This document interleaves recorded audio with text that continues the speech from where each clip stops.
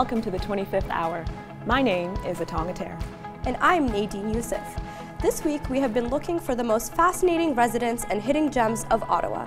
From Viking warriors to Canada's fastest painter, we bring you previously unheard stories from the people of the capital. Ottawa poet Apollo the Child had witnessed the power of words through his life. Through hard times, words became his light and his savior. Now, spoken word is where he comes alive, his tool for self discovery and expression. Only I lie with a painted smile and say I'm fine. So you can't see pain through this coat of paint. Now you can't see pain through my coat of paint. And I learned that science proves that Superman should be black. I tell people he was. I tell people. I am Apollo the Child, and I am a spoken word artist. I loved hip hop. You know, my older cousins uh, introduced us to a lot of hip hop. So uh, they're like, yeah, I really love rap and everything. He's like, well, you should try writing. So I did. So I started writing, and the writing was awful because I was like young and did not know what I was doing. Spoken word artist was like the coolest thing to me, and I wanted to be one. I decided I was going to do the holiday assembly. So at first when I signed up, I signed up to do hip hop. And then everybody's like, oh, cool, you're going to rap. And I was like, ah, no, I'm gonna do some spoken word. To sit and write until our skulls and skies lit on fire. So I gave you the name of Johnny Blaze. I gave you the name of Johnny Blaze, and Johnny was a good Superman, and it figured. Everybody loved that, and I got a great reaction. And so I knew there was something there. I knew there was something there. I wish I can go back in time to when we realized we were both beings with big smiles and we would try to outgrin each other and the laughing fits that ensued. When you're young, you kind of don't want to be different You don't want to stand out like that at all, you know?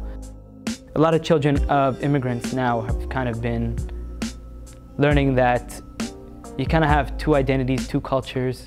I didn't know where I belonged. انتم متوا قبلنا واحنا نموت وراكم انتم متوا قبلنا واحنا نموت وراكم الله يرحمك If it wasn't for art, I don't think I would have made it through you know, in the Middle East specifically, I know in other cultures as well, like there's a huge kind of stigmatization around it where, um, and I know a lot of people in the community have kind of suffered through mental health issues and it's almost seen as something to be ashamed of. I'm so sorry it took me this long to speak to you. I'm just so tired of writing these eulogies. Another friend of mine actually passed away. She took her own life that year too, like literally right before school started. And that kind of impacted a lot of us. My parents were really counting on me to get a university degree and then start really helping out with the family. I felt very alone. I felt like I was just a student number. Eventually, I decided what was best for me would, was to drop out. Didn't run it by my parents. Um, was very, very afraid of what uh, they might think or what they might say. Uh, again, because like it was a big responsibility, and I did kind of crumble under that pressure. I dealt with my depression through art. My people, if you want me to say word. Word. My people, if you want me say word. word. My people, if you want me say love. Love. There you go. The organizer was like, hey, come out to Urban Legends. Like, uh, it's going to be a bi-weekly show, but we are doing an open mic. God, the sun was just coming up. I walked to the bathroom. I learned a lot about myself, and I really came into myself because of Urban Legends. I took over the directing ship of Urban Legends in 2014-15 and I've been running it ever since. The once quiet, skinny former Afro samurai is now leader of the show we started slamming at. I say that with pride. I took my art nationally. I was a rapper first before I ever was a poet. I love music. I love music. So my brother and I, we have a radio show together at Carleton. Uh-huh. Let him know. When let I first kind of started doing it, I was at that point I've been performing for at least five years. And being on that mic, I was absolutely petrified. And then uh, eventually my older brother's like, hey man, like, just think of it as us having a conversation. I know that at the end of the day, if everything goes wrong, I know my family's there to hold me down and help support me, especially after opening up to my parents about my depression. We were polar opposites and yet the same. I go by Apollo the Child, that's my artistic name, the name that I always bring to the stage. Um, when I was in 10th grade, I stumbled upon the section of the Greek god Apollo. And he was not only tasked in bringing the sun, he also ruled over the arts. We promised we would be spoken word. We promised we would build a community using words. And I'm doing all that we talked about, all that we planned for, all that you gave me confidence My for. name is Khalifa Hamdan, and I am a spoken word artist.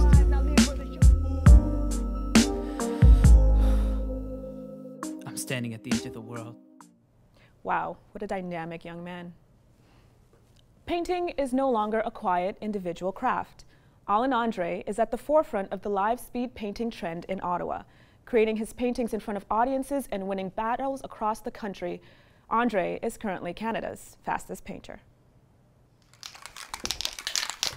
My name is Alan Andre. I'm an artist, uh, speed painter, art battle champion, um, and storyteller in some ways. um, I think I, I kind of always been a live painter at heart because uh, I would draw at a young age and when I started getting good, I actually started getting a little bit of attention from it. So I kind of like fed off of that a little bit. So I know I'd be drawing and then strangers would just kind of like leer over my drawings and I was very aware of that. So I think that's where it kind of started. But uh, my first live painting was probably a few years ago. A friend of mine at Ottawa U had asked me to do a live painting for an event and I've always just done it like in my studio, just like a scientist in his lab, and then shown my creation. So it was kind of interesting and exciting to be able to do it in front of a whole audience of people. And when I showed up, there was like so many people. I was kind of like, whoa, like, what did I sign up for? But it was it was cool, and I think it was one of my best ones, my first one. So just kind of took off from there. So the technique is like, I think it has to do with, um, for myself, is like freedom from certain constraints. Like, so in the beginning, when I first started, um, I kind of would not focus too much on true colors and I would just kind of use the colors that I feel are cool or where I think, okay, we need some pink here, some green here, and I'm doing like a face and it's like every color of the rainbow. I think my biggest influence is the art that's around me. So like my mother loved paintings, always coming home with a new painting every other week um, and was really excited about them. And then I was really into comic books as a kid and cartoons and those definitely influenced my work. So a lot of comic book artists are some of my favorite artists. I've been doing this thing called Canvas Lounge Thursday at Grounded, and we wanted it to be kind of like just an open place for creativity. It's exciting because like when you're in front of the canvas, um, no matter what you're doing, that's like the most present moment because you are focused, totally focused on trying to solve the problem in front of you, whether it's like, okay, what's wrong with this picture? Is the hair too big or the hands too small? You're trying to solve all these problems and balance it out. But you are present in that moment. You're not thinking about tomorrow. You're not thinking about yesterday. For me, I feel like it's almost like a meditation. So uh, I grounded, I created a giant mechanical thousand year bear from a story um, that Stephen King wrote uh, called The Dark Tower. So then we started pushing the limits, like I started making holes in the wall, like making the teeth come out, the claws come out. Then the contractor's like, we could bring in some trees and I'm just like, yes, let's do that. So he brought in some trees and you know, I helped place them and position them and stuff. And the most challenging aspects of live painting is just sometimes you forget um, that you've been practicing your whole life and that you know you're ready for it. Just the anticipation of what you're gonna come up with. Um, I guess might be a little bit challenging, so it might make you a little bit nervous, but I feel like those nerves are actually good. It actually pushes you to even to do better. So where I see myself with art and live painting is uh, I just want to improve like the quality of like of what I do. I don't want to limit myself to doing this only, but I think that's who I am. So yeah, I think I, I'll probably be doing it for a long time. Yeah. Handcrafted Japanese kitchen knives are becoming ever more popular in the Ottawa restaurant scene. Chris Lord manages the Japanese knife store, Knifewear. Chris developed a passion for these knives and wants to make them accessible to everyone, from professional chefs to amateurs. when you're sharpening a knife, it, it's just about geometry, you know? It is like triangles are sharp.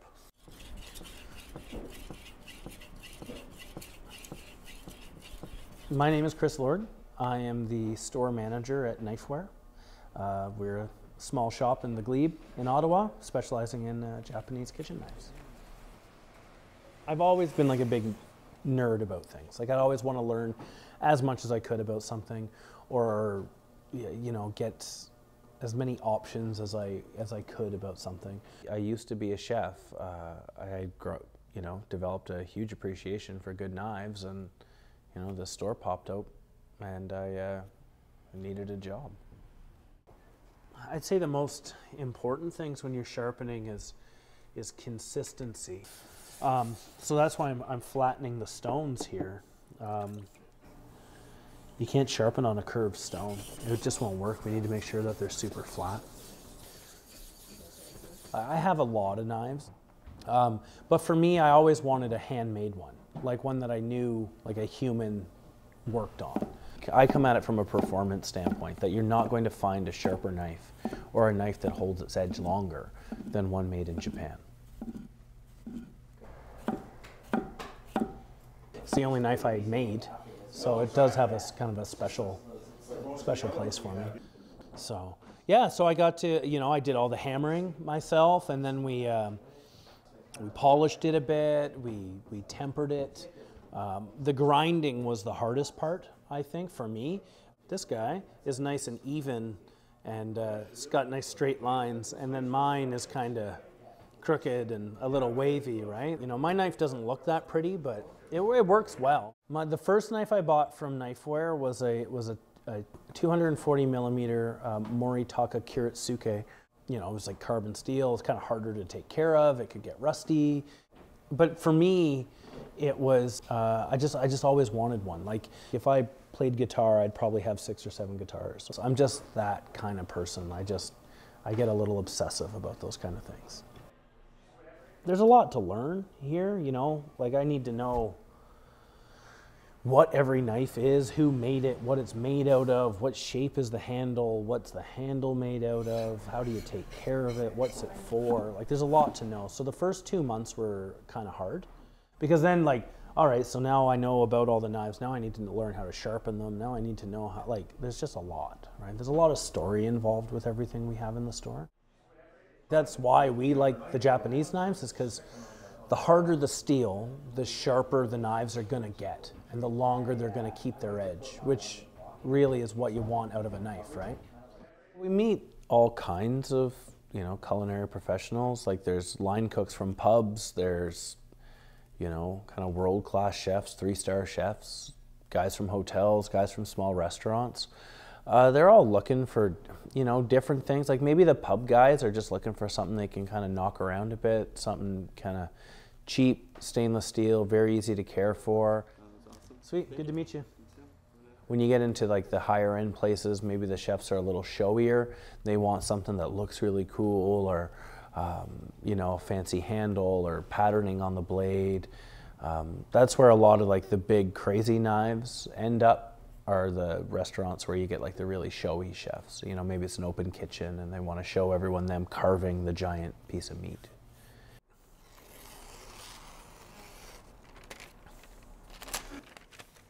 I just wanted, you know, one that was mine, like one that I just kind of couldn't do without. One that I was going to use every day and kind of, as strange as it might sound, like develop a relationship with this tool. You're watching the 25th hour. Life is a battlefield, and a local Ottawa warrior is leading the charge through self empowerment. Get a glimpse into why people are turning to her for guidance.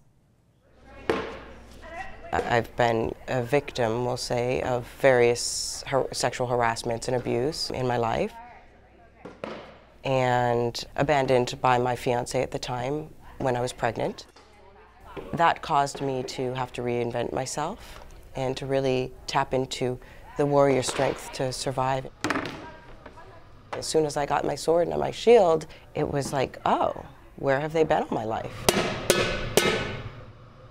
My name is Beth Sturdivant, and I am a Shield Maiden and founder and director of Warriors of the Light. Okay, so fully extend your shield. Yeah, protect your hand.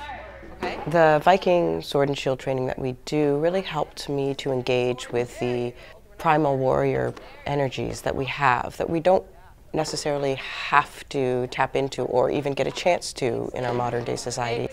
That's it.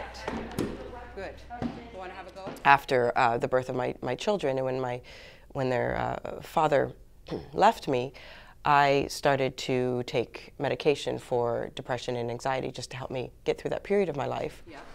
As you're coming. That's it. So and um, also suffering from PTSD as well from, from that period, as well as postpartum. I'm very aware of this, the mental struggles that we can physically face. However, the more we're able to go inside and remove the blocks and remove the fear and confront those aspects of our past that we'll say caused them, the more freedom we feel and the more strength we get over time. So I'll do a left hand for you, okay? Ready? So we go one, two, back, three, four. The women's only component of Warriors of the Light, so the Shield Maiden training, the goal is to help empower women, to help them connect with their warrior spirits mentally, physically, spiritually, and emotionally, and to feel fiercer, to you know, combat the various obstacles that we will meet, and also to create a bond so that we feel like we're stronger together and that we can come together and, and really have a, a sense of a, a community and a, and a sisterhood. What really sort of clinched my decision to join the program was the idea that it had this component beyond the physical aspect. So the classroom component of of going through different things, it just brings it all together and you make connections that you wouldn't necessarily do in just a straight up physical class. Does anyone have any questions or want to add anything? Share? Using the sword and the shield in particular um, really helped to engage those elements of courage and strength. I studied professional um, classical music, but it wasn't um, so much a, a passion or a purpose as something that I did and I was good at. Yeah, so Pauline, yours is going to have to go underneath. There we go. That's it. That's it.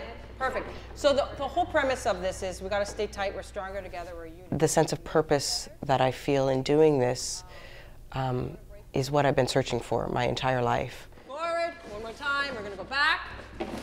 Back. That's it. Better, girls. Back. Back. That's it. And back. Forward. Forward. Forward. Forward. It is the utmost honor um, for me to be able to really uh, birth this and continue to, to help it grow. It's amazing how an ancient form of fighting can be so useful today. Scott Taylor was a soldier, then a war correspondent. Now he is a magazine entrepreneur. Founding Esprit de Corps Canadian military magazine allowed him to tell the real stories from conflicts worldwide. Now he shares the story of how he came to be one of Canada's most outspoken defense critics. As a kid, I was always involved in reading about military history. I was fascinated with it. And my father had collected military miniatures, and he was just like too young for World War II, so he was fascinated with the whole aspect of, you know, sort of reading about history. I'm Scott Taylor, uh, former soldier. I graduated from the College of Art and wanted to take on a personal challenge. I wanted to see if, you know, before I entered into my lifetime career of art, which was my illustration background was going to be, um, I wanted to see if I had what it took kind of thing. So I wanted to become a paratrooper. I wanted to become a commando. Started Esprit de Corps magazine in 1988. Uh, I've been doing that uh, as a publisher and then working for other agencies as a war correspondent for the past three decades. It was this idea that, I mean, if we're going to do the stories, why would I let someone else go and do the adventure? if it's not going to be me, like if it's going to be a trip to Namibia or to wherever to go up into the Arctic, why would I want to hire a journalist when I want to do that? Now I could do Air Force or Navy stuff, and I got to go to sea, and I got to go on submarines, and I could do things that I'd never been able to do. So for me, it was this ticket to adventure galore. As a soldier, we always had a field message pad, which I use to keep track of everything from uh, contacts in the field, people who were there, to uh, the day-to-day sort of diary, initial diary that we've got that we put together.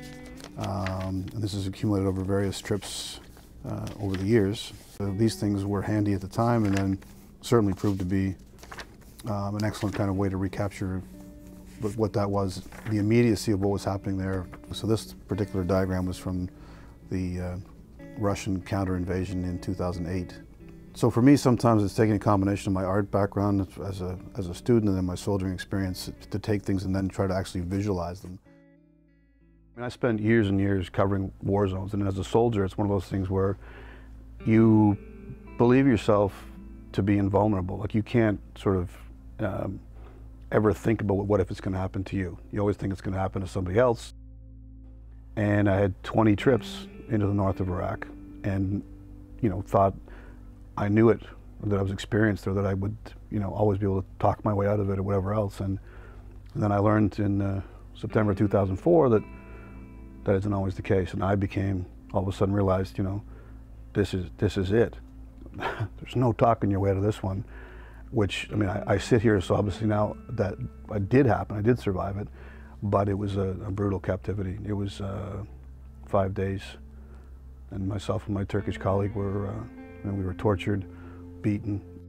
I mean, there's a whole range of emotions even when you're a captive. I mean, you don't just sit there all day just shaking in fear. I mean, there's things that happen that are actually funny even in retrospect when, like, it, it's just, um, life happens, right? It's just so you, you can't just sit and quake for five days. Like, um, there's moments of intense terror, and then there's other moments where, you know, some of the food actually wasn't too bad. Very quickly, the minute we started to express actual opinion, there was a whole censorship issue with D&D. Their first reaction to any kind of criticism was to kill it. They weren't just going to challenge it or refute the argument, they were going to crush the magazine. It, it started what went on for probably more than a decade of us. It became, at one point, a very, very vicious fight between us and the, the senior brass where we were targeting corruption. And uh, that's something which, in retrospect, I mean, it was one hell of a fight. They practically bankrupted us for a long, long stretch.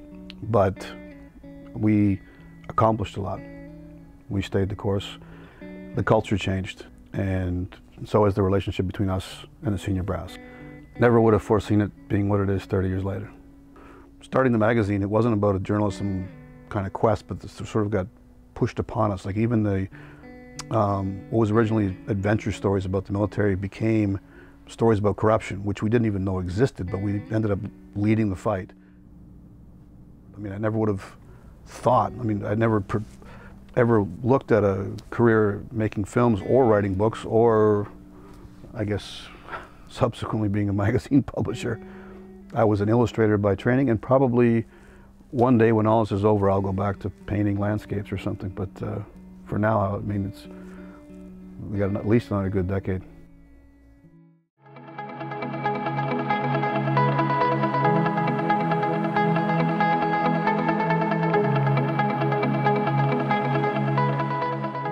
And you are watching the 25th Hour. A not-for-profit dance collective in Ottawa is trying to spread positivity through the community, one beat at a time. Celebrating their 20th anniversary this year, Culture Shock Ottawa is growing like never before. Artistic director Laura Braid brings us closer to her lively dance collective. Eight, one, two. My name is Laura Braid. I'm the artistic director for Culture Shock Ottawa. I'm um, the one who's coordinating and running all the rehearsals, so determining what kind of training are we going to do with our team, what do they need. On top of that, it's putting together all of our sets and performances. So um, either choreographing and teaching myself, or obviously having a lot of our team members contribute to our sets and our, uh, our medleys as a whole in general. Culture Shock is a nonprofit organization. Uh, our main mandate is to provide youth outreach programs, particularly for communities at risk, but for communities all over the city. Uh, we really have like three pillars as an organization, uh, nonprofit. It's to educate, enrich, and entertain.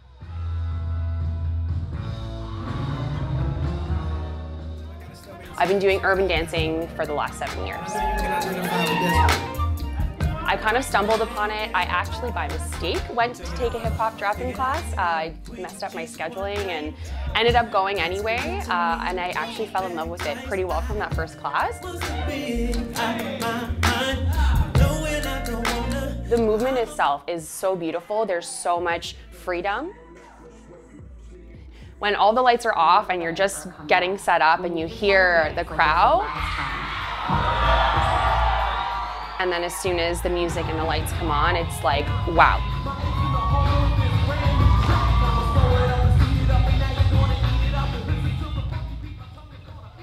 When I'm teaching, I prepare for classes kind of in a few different uh, ways wherever I am, whether I'm just at home or I'm commuting somewhere to work or elsewhere, I will listen to my music like on repeat basically, and I'm visualizing myself teaching the class and doing the choreography. When you see people performing your own piece, uh, whether it's in class, on stage, whatever, it is really such an incredible feeling. It is so rewarding. It's, it's seeing a vision that just started maybe as an idea or a thought come to life. It's a really uplifting and inspiring thing. I get my inspiration from a lot of places. Honestly, my biggest source is really the people that I dance with every week. It's my teammates, 110%. But you know, on top of that, um, I'm an avid dance video watcher. I watch YouTube all the time. Tony Tzar is an incredible artist who really inspires me, his messages, his movement, everything. The word family is sometimes very often loosely thrown around. But truly, I wholeheartedly believe in Culture Shock being a family. The people and the relationships that I have uh, been able to foster and, and gain through being with Culture Shock are some of the most valuable relationships I have in my life.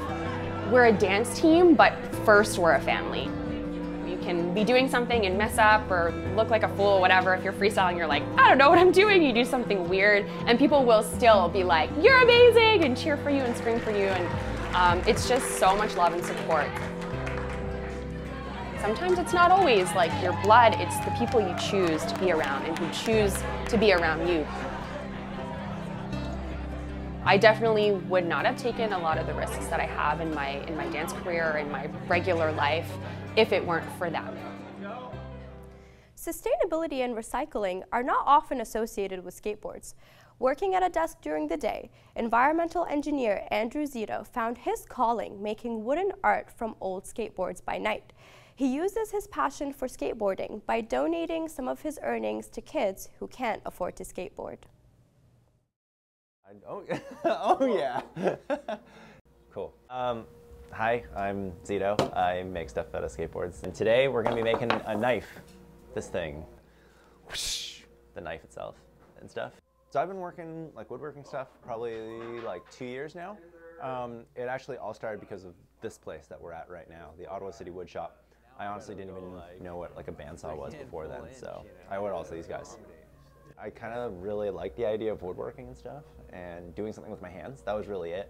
Uh, I work behind a computer all day, every day, most days. So being able to make things with your hands and kind of, you know, be active in that sense was kind of really why and how I started. The materials I use are, as you see with most products, it's skateboards. Um, I get them from all the skate shops in town, but primarily Burling uh, on Somerset there. And we actually design the boards now. Every board they put out, we'll kind of go and talk about the plies that are going to go into every board so that you know, there's the understanding that there's that, you know, secondary life cycle that, that comes with this product and it won't just go to the landfill. 10% of revenues uh, go back into the At for Pivot Sake program and also the uh, Girl Skate 613 program in the Ottawa community. Um, they help build skate parks, they help uh, provide um, training and skateboarding and programming to underserved communities, and then uh, we also are doing a hope you know trying to bring all sorts of minorities and diversify skateboarding and what it is in this particular city. So hoping to do good things. Yeah.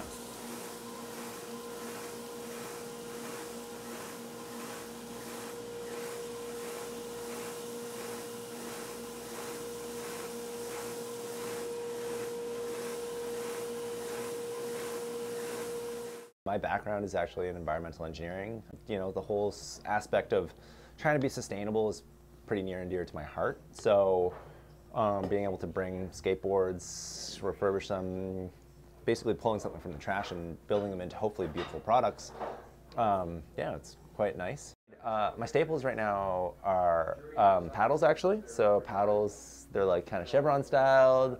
They're like feather styled, but um, skateboards embedded into walnut, ash, cherry, what have you. It's uh, yeah, that's kind of like what I make. I make couple of those a week and stuff.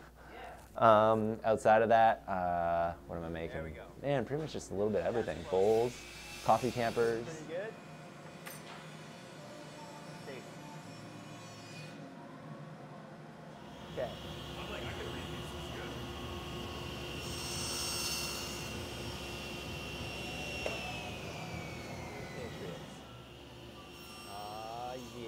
I made a baseball bat. That was super friggin' wicked. We hit a home run with that. That was super fun. And uh, I don't know, future projects include like hockey sticks and stuff. So we'll kind of see. I don't know, all sorts of stuff.